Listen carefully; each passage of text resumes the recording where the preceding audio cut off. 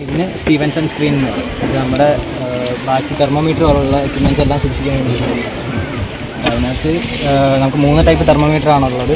Wet and dry body thermometer maximum minimum thermometer പിന്നെ normal thermometer wet and dry body thermometer നമുക്ക് humidity അളക്കാൻ പറ്റും ആർക്കിൽ പിന്നെ maximum minimum temperature നമുക്ക് ഒരു ദിവസത്തിന്റെ ഉച്ചയ്ക്കുള്ള മാക്സിമം ടെമ്പറേച്ചർ രാവിലെ അല്ലെങ്കിൽ രാത്രി ടൈമിലുള്ള മിനിമം ടെമ്പറേച്ചർ പിന്നെ നമുക്ക് ഇപ്പോഴത്തെ സമയത്തെ ടെമ്പറേച്ചർ നോർമൽ ടെമ്പറേച്ചർ തെർമോമീറ്റർ ഉണ്ട്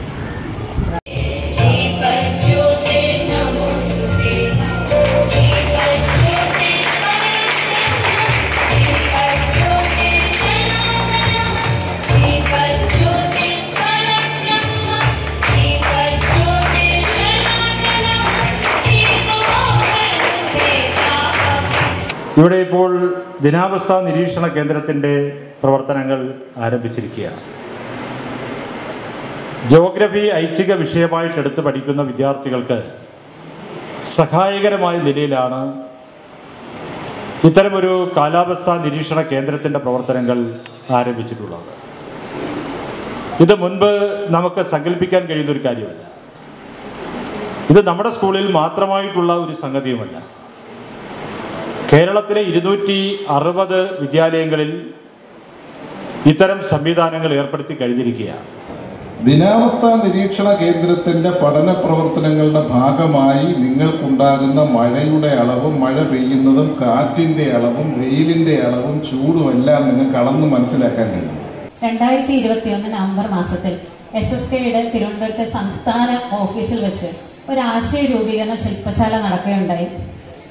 അത് ഹയർ സെക്കൻഡറിയിലെ ജോഗ്രഫി പോലെയുള്ള വിഷയങ്ങളിൽ പഠനക്രമം എളുപ്പമാക്കുന്നതിന് വേണ്ടി എന്തൊക്കെ ചെയ്യാം എന്നുള്ള ഒരു ചർച്ചയിലാണ് ഈ ഒരു ചിന്തയുടെ തുടക്കം. ആ ഒരു ഒരു ശില്പശാലയിലാണ് വെതർ സ്റ്റേഷൻ എന്ന ആശയം സ്കൂളുകളിൽ വെതർ സ്റ്റേഷൻ സ്ഥാപിക്കാം എന്ന ആശയം ഉടലെടുക്കുന്നത്. ഇപ്പോഴത്തെ എസ് എസ് കെയുടെ സംസ്ഥാന കോർഡിനേറ്ററായ സുരേഷ് സാറാണ് അന്ന് ആ ചർച്ചകളിലെല്ലാം മുൻകൈയെടുത്തു നിന്നത്. ഭൂമിശാസ്ത്രം ഐച്ഛിക വിഷയമായി പഠിക്കുന്ന സംസ്ഥാനത്തെ എല്ലാ ഗവൺമെന്റ് ഹയർ സെക്കൻഡറി സ്കൂളുകളിലും വെതർ സ്റ്റേഷനുകൾ സ്ഥാപിക്കാം എന്നതായിരുന്നു അന്നത്തെ തീരുമാനം.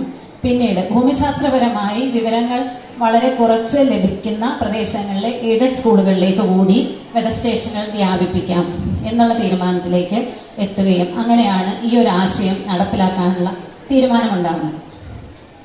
ഒരുപക്ഷെ പൊതുവിദ്യാലയങ്ങളിൽ ഇത്രയധികം ദിനാവസ്ഥാ നിലയങ്ങൾ സ്ഥാപിക്കുന്ന ഇന്ത്യയിലെ ആദ്യ സംസ്ഥാനം നമ്മുടെ കേരളമാണ്.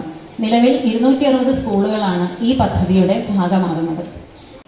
ബഹുമാനപ്പെട്ട മുഖ്യമന്ത്രിയുടെ നൂറ് ദിന കർമ്മ പരിപാടിയുടെ ഭാഗമായി നമ്മുടെ സ്കൂളിന് ലഭിച്ച വെതർ സ്റ്റേഷന്റെ ജില്ലാതല ഉദ്ഘാടനമാണ് ഇന്നിവിടെ കഴിഞ്ഞത്.